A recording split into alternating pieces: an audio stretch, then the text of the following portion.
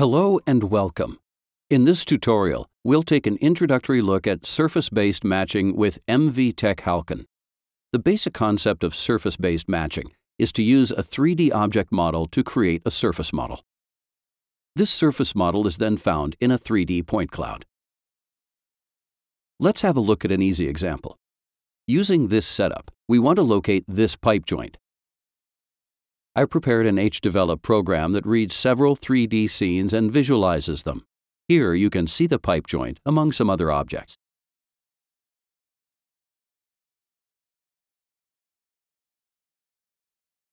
First, to locate the pipe joint, we need to train a surface model of the object. For this, using the operator readObjectModel3D, we read a 3D CAD model of the pipe joint. Let's have a look at it. This object is well suited for surface-based matching because of its big round surfaces and its distinct shape. Next, we add the operator Create Surface Model and use the 3D object model we just read as input. The surface model is created by sampling the 3D object model with a certain distance. Using the operator getSurfaceModel param, we can retrieve the sampled model. This 3D object model contains all points sampled from the model surface that are used for the matching. Note that the sampling distance is quite important to determine the performance of the matching. However, the default works robustly for most cases. Next, let's find this surface model in the read 3D scenes. To locate it, we use the operator Find Surface Model. As a result, we get the pose of the match and a corresponding score. If you perform a hand-eye calibration for this setup, you could then pick and place this object with a robot. For now, we only want to visualize the match in the 3D scene. To do so, we use Rigid Trans Object Model 3D to transform the initial CAD model into the found object pose.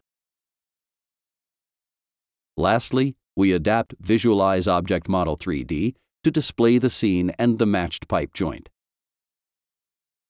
Then, we can go through the 3D scenes and check the results.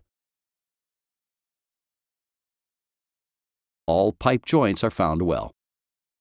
In this example program, we used default parameters for our application. There may, of course, be cases where the application doesn't work out of the box. In this case, HDevelop includes the procedure debug find surface model. To check all available data, we go to Find Surface Model and set Return Result Handle to True. Let's restart this program and have a look at the debugging possibilities. First, we recommend performing the automatic value check to find common problems with the 3D scene or the surface model. In this case, all looks well. Next, it's good practice to check the directions of the normals. Normals are vectors that are perpendicular to the surface at a given point. Their direction must be consistent for the model and the scene. Here the normals point inwards in both the model and the scene. If necessary, you could invert the normals. Finally, you can also check the matching results. This visualization shows more details. In gray, we see the original scene. Additionally, the scene is sampled, shown in cyan, similar to the surface model at the beginning of this video. Lastly, the key points are displayed in yellow. Key points are used to speed up the matching. However, for stable results, it is important that the object is covered by several key points. The number of key points is set with Find Surface Model. One last remark about the score of surface-based matching. For example, in this 3D scene, the model is found very well. However, the score is quite low. By default, the score represents the approximate fraction of the object's surface that is visible in the scene. Thus, the maximum achievable score here is 0.5, since only half the object can be seen at once from any viewpoint.